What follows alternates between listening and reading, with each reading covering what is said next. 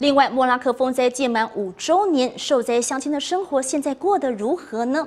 专题报道要带您前往山林大爱园区，看看部落乡亲的生活。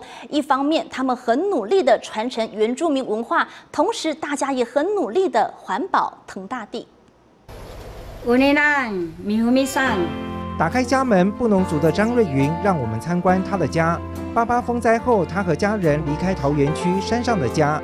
住进慈济原建的永久屋，屋内外还保留原住民的图腾和摆饰，很棒的感觉。这个家是人家一点一滴累积起来的钱，才可以让我们盖这个房子啊！啊，所以只要我有能力的话，我也要帮助别人。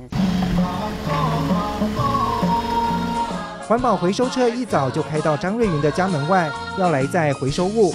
这些都是他利用晚上的时间挨家挨户收集来的。晚上我有时候捡到十一点，啊，有时候我就想说啊，早上不用捡了，可是还是睡不着呢。哎，既然要运动嘛，啊，我这样走也是运动啊。然后我就再绕一次，我想一直做做到眼睛闭起来。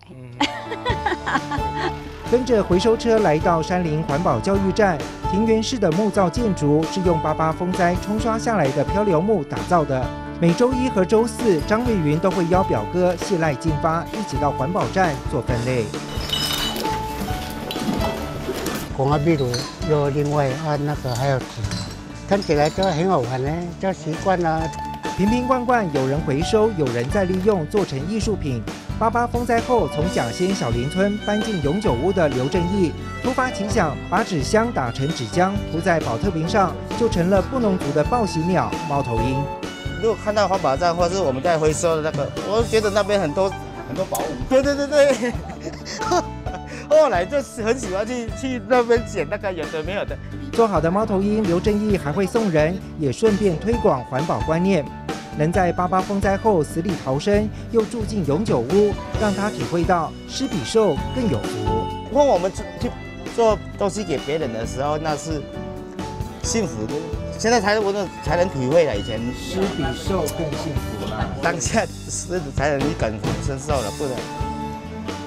还有伸缩，你看这样踩它，很轻啊。在圆明广场的这座猫头鹰，也是刘正义利用铁丝网和纸浆做成的。除了随处可见的大型猫头鹰装置艺术，园区里的原住民工作室更把猫头鹰做成精致的摆饰品，无形中保留了原住民文化。做了十字族群，嗯，文化就来了。这个就是我们的报战功，猎到山猪三枪这样子，一起报自己的所猎物的啦，所丰收的。啊，这个是布农族的八部合音，像琉璃的部分，布农族的，因为是打猎民族嘛，所以用山猪牙代表勇士，不用说下雨天怕路不通不能下来啊，啊，所以住在这里不错。在慈济援建的山林档案永久屋里，环保教育站推广环保回收，让园区居民有舒适整洁的居住空间，也保留原住民文化，并且将文化和产业结合。八八风灾后，居民有了落脚地，在这里重新建立家园，扎根生活。